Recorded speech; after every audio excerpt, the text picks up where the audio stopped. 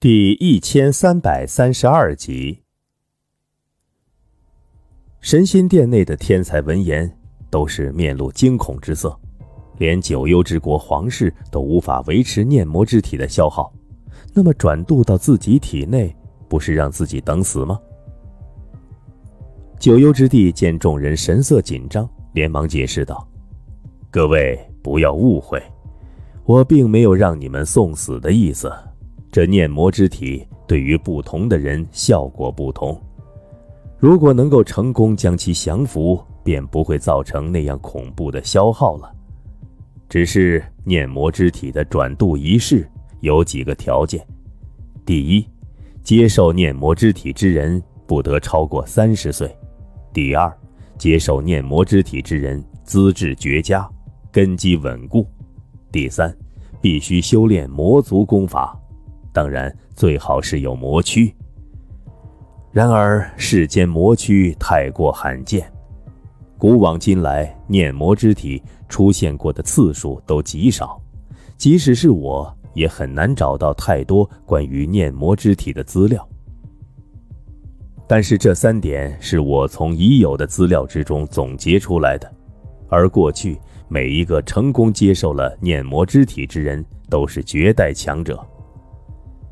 那位曾经撼动灵武大陆天道的无上魔帝，青年时期便是念魔之体，而若是成功降服念魔之体，好处也绝对是极大的。拥有着念魔之体，你的神魂便趋于不灭，而且强大无比，至少不会弱于封门境存在。除非身体完全损毁，几乎没有人能伤到你的神魂。当然，风险肯定是有的。若是接受失败，接受者的神魂可能受到重伤，甚至直接魂飞魄散的。而小九一共也只有三次进行仪式的机会。所以，若是对自己没信心、不愿进行转渡仪式之人，现在就可以离开神心殿了。放心，本王不会因为你们的选择而追究你们的。九幽之地语毕，整个神心殿一下子沉寂了下来。不少天才，你看我，我看你，一时间竟是有些不知所措。而此刻的叶晨表情却极其古怪，因为刚刚一刹那，眉心传来了一道急促的声音：“叶晨，一定拿下这念魔之体。我的肉身已毁，要重塑当年的肉身，最关键的便是念魔之体。”哈哈，天不忘我！我本以为需要数万年才能恢复当年的巅峰，现在若是有着念魔之体，最多不超过三年，我便可以恢复巅峰状态，足够杀上神国。叶晨微微一惊，他还是第一次发现魔帝如此激动。看来不管如何，他必须拿下这念魔之体。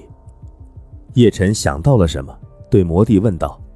魔帝，我能够成功降服这念魔之体吗？魔帝笑道：“这九幽之地对念魔之体还是多有不知的。他所说的基本没错，但是有一点他不知道，那便是这念魔之体被神脉和魔躯完完全全的克制。据我判断，在场之人中也只有你有能力完全降服这念魔之体。不对，放眼整个灵武大陆。”也只有你有资格降服这念魔之体。与此同时，魔域深处的魔族，一座充斥着阴森恐怖的巨大殿宇，殿宇周围魔气环绕，宛如地狱。殿宇之上有着一座气势逼人的九条黑龙雕刻的巨大石椅，狰狞而又瘆人。九龙黑椅上的男人突然睁开眼眸。殿宇之上，那些气息恐怖的魔族强者纷纷跪下。魔尊，声音震天，无上忠诚。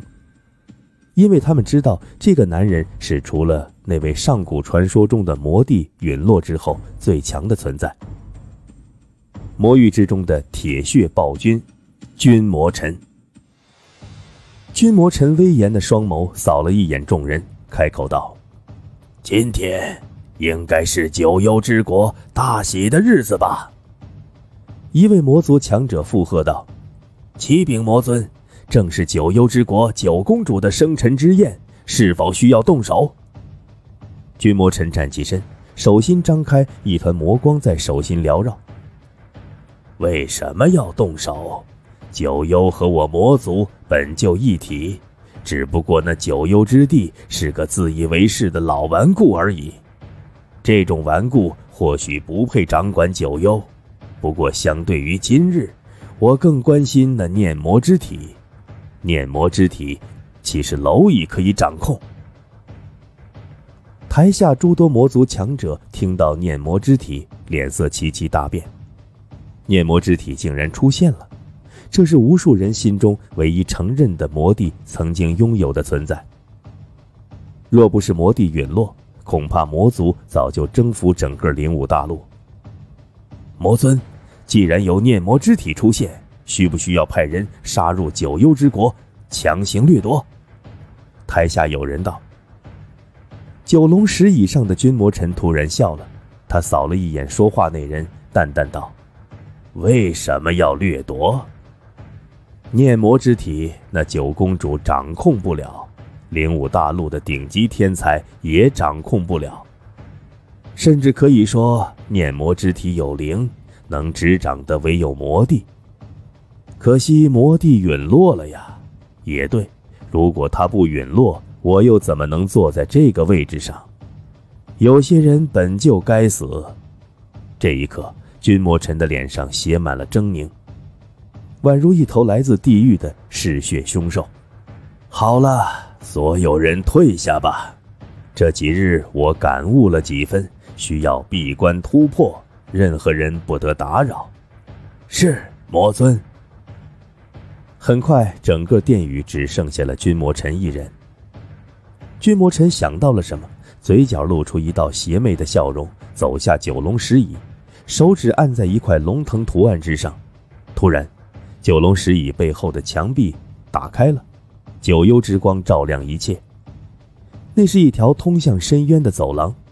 君魔臣双手负在身后，向着深处而去。里面别有洞天，渐渐的一切清晰。一个巨大的雕像浮现。如果叶晨在这里，必然会发现这雕像就是眉心的魔帝。魔帝威震九天，固然是雕像，却是栩栩如生，周身缭绕着浓郁的血气和魔气。君魔臣凝视着魔帝雕像，冷冷一笑。而后开口道：“魔帝，距离你陨落多久了？千年、万年，还是十万年？一眨眼，上古便是如此遥远了。对了，有件事你可能不知道，当年那一战你败得不冤，毕竟那一战是我唯一一次和神国联手的呢。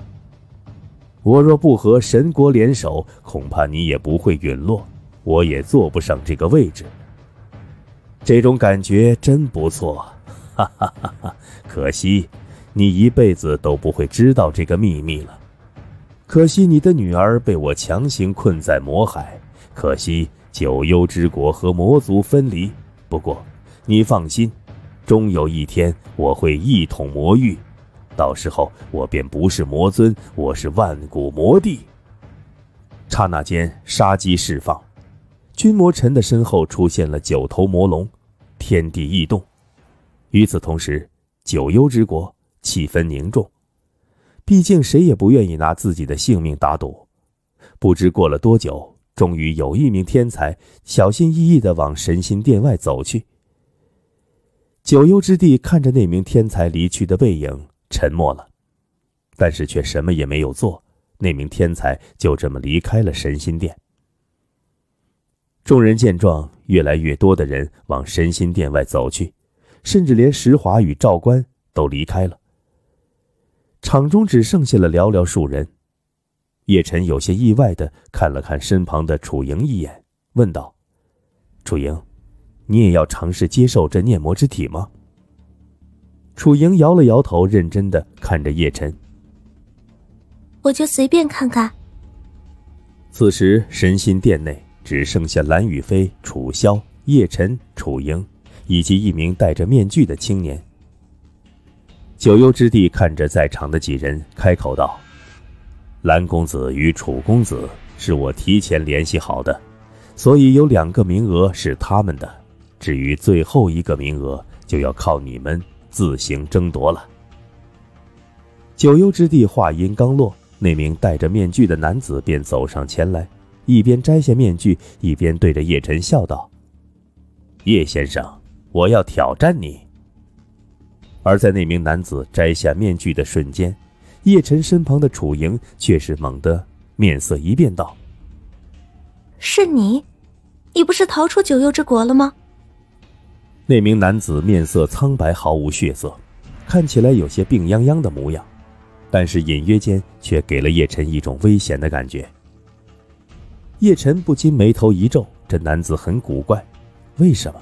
因为这名男子明明是半步封门的存在，但是给他的危险感竟是丝毫不弱于任何封门强者。此时，这名男子对着楚莹露出一个阴森森的笑容，道：“楚小姐，好久不见呐！我本来也不想来的。”但是王家承诺，若是我能在这次神心殿演武比试击杀叶先生的话，便出手将我保下。你说这样的条件，我怎么能拒绝呢？叶晨看着楚莹的面色，有些奇怪的问道：“楚莹，怎么了？”他还从来没见过楚莹露出这样的神色。楚莹突然伸出手，死死拉住叶晨的衣袖，道。叶晨，拒绝他，不要和他比试。这人名叫宋毒，拥有一种极为恐怖的体质，名为九幽毒体。这九幽毒体高于后天毒体，并带着九幽魔气。叶晨深深的看了一眼纪林，然后问楚莹道：“那这九幽毒体和先天毒体相比呢？”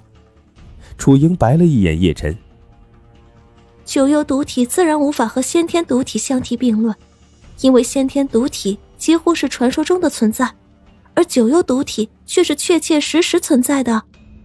九幽毒体号称封门之下无人能够承受，即使是封门中期强者，一个不小心也会有可能陨落。